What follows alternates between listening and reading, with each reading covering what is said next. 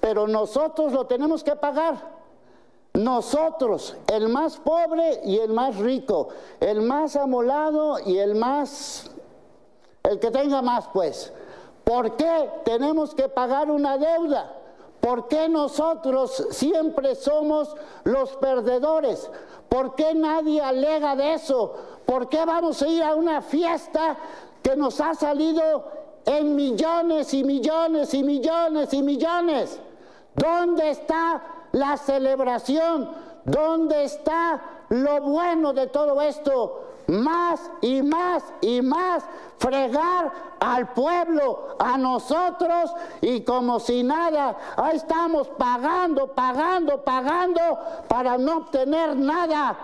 Ese es el Pemex de hoy, más caro, más impuestos y más deuda. Y ahí les voy. Esto es un rescate de Pemex, igual que el FOBA-PROA, es un rescate bancario. Claro, alguien dirá que Pemex es una empresa del gobierno, sí, pero de todos modos la pagamos. El FOBA-PROA es un rescate particular a bancos, pero de todos modos lo pagamos. O sea, ponle el título que quieras, pero estamos pagando una especie de FOBAPROA para rescatar a Pemex. 105 mil millones de dólares es la deuda de Pemex que iremos pagando todos los mexicanos. Así como el FOBAPROA, hay niños que están haciendo hoy y que tienen que pagar el FOBAPROA. Va a haber niños que nazcan en un futuro que tengan que pagar el rescate de Pemex. Las autoridades no hacen lo suficiente y habría que hacer un recuento de las víctimas mortales que no son de elementos de seguridad, es decir, nosotros como víctimas de esos criminales. La mayoría impunes, la mayoría sin pagar lo que deben, la mayoría como si nada. Y eso está pasando en enero del 2023 Apenas estamos empezando este año y ya hay que contar tanta desgracia. se necesita ser verdaderamente estúpido para entrarle a un reto, el último que se duerma gana. ¿Y qué gana? ¿Qué gana? Esa es la pregunta. ¿Qué gana? ¿Gana dinero? ¿Gana un premio? ¿Le dan un trofeo? Eh, ¿Pasa a una semifinal? pasa a un torneo, no, simplemente es la estupidez en su máxima expresión. El reto consiste, ¿qué tipo de sociedad es la que estamos construyendo? Construyendo una sociedad donde los niños, los jóvenes están consumiendo una medicina que puede causarles daño, que hay repercusiones secundarias cada vez que se toma y que hay gente que sí la necesita que no la tiene. Ya basta de estar dando cifras, datos, curiosidades. Ya vamos a terminar con tanta estupidez. Algo se debe de hacer. Están en peligro muchos niños que caen en la trampa nada más porque sí Ahora estamos hablando de más casos. ¿Cuántos casos necesitamos para que se ponga orden en tanto, en tanta desgracia, en tantas cosas que suceden en nuestro...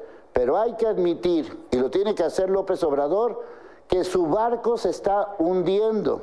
Y ese barco se llama 4T, transformación, proyecto o como lo quieras poner. Lo peor del caso es que se lleva al país en todo este juego nada más por hacer lo que él quiere, lo que él considera o lo que él dice que así debe de ser. Controla el pensamiento de muchos, controla la agenda de muchos, pero no controla a todos y no controla al país.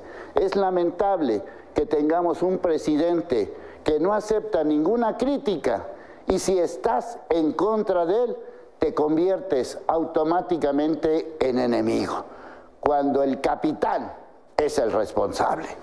Ahí les. Les gusta maquillar cifras y que a final de cuentas estas 17, quién sabe cuántas vayan a quedar ya como feminicidio. Pero da lo mismo, feminicidio o matanza de mujeres. Justicia para Londra. Pero también habría que revisar los malditos protocolos que tiene la Fiscalía de Jalisco, que ni siquiera pueden tener una oficina decente. Habría que revisar por qué demonios matan adentro de un ministerio público a dos personas y la persona que mata huye. Justicia para Alondra. Justicia para Alondra. Alondra, una joven de 21 años, fue por segunda vez a denunciar al Ministerio Público en Poncitlán, Jalisco. Iba acompañada de su mamá. Llegó el maldito, su esposo, y la mató a ella y a la mamá. En el Ministerio Público de Poncitlán, Jalisco. Como pueden ver en estas imágenes, a esto le llaman Ministerio Público de Poncitlán. Ahí, en una casa, en medio de una casa, en una covacha prácticamente, es el llamado Ministerio Público. Ella iba por una orden de restricción, la segunda vez que denunciaba. Este hombre, el esposo, llegó, en su automóvil, a media calle se estacionó, entró como si nada, disparó contra su pareja, contra la suegra, a final de cuentas las dos murieron. Es increíble la manera en cómo se trata a las mujeres en este Jalisco y en México. Es verdaderamente inverosímil pensar que esto que vimos sea una oficina para poder denunciar no solamente este tipo de violencia, la violencia familiar, sino cualquier otro delito. Esto es responsabilidad de la Fiscalía de Jalisco. Es verdaderamente inapropiado. Es algo que solamente viéndolo podemos entender la dimensión de cómo a las víctimas en este país se les trata, se les ningunea como si nada corrupción cuando los jefes de la corrupción son nuestros queridos expresidentes. Ahí tenemos a Calderón ya haciendo de las suyas en España y ahí tenemos a Peña Nieto haciendo de las suyas en Dubái. Porque estos truenes simple y sencillamente nos dan una idea de lo que hemos mencionado en otros momentos. Para Peña Nieto, pues ya perdió a la gaviota, ya perdió a Tania, pero todavía le queda el amor de López Obrador, que nunca lo menciona, que nunca se refiere a él y que parece que es un amor que sí va a durar bastante tiempo.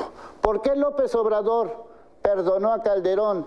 ¿Por qué López Obrador jamás menciona a Peña Nieto?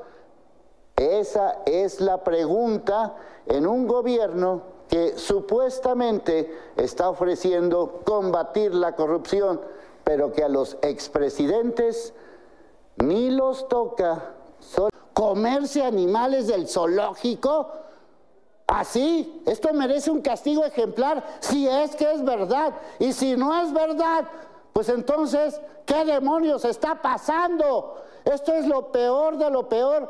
Ahora sí que ni los animales hacen este tipo de situaciones vergonzosas por donde se quiera ver. Urge una investigación especializada y ya aclarar, ¿se comieron o no se comieron animales del zoológico? De eso estamos hablando. Y si es verdad, ese 830 millones de pesos, ese es otro tema. Lo que me preocupa es que no sabe administrar, porque en una cuenta pública que te falten 830 millones es que no sabes administrar. Si esto fuera una empresa privada, imagínate que en las cuentas finales te falten 830 millones de pesos, ¿qué pasa en una empresa privada? Pues o los pagas o te corren. Así son 830 millones de pesos que quién sabe dónde anden. Así piensa esta señora Delfina administrar el Estado de México, que es la entidad más grande, que tiene más presupuesto, donde hay miles de millones de pesos, el problema no es si se lo roba o no, es que no sabe ni sumar, ni restar, ni multiplicar, ni dividir. Ahí, más allá de la corrupción, hay una falla que no saben hacer su trabajo. Así que no es una cuestión de politiquería, no es una cuestión de guerra sucia, es una cuestión como cualquier cuenta contable, como cualquier auditoría en el mundo, que faltan 830 millones.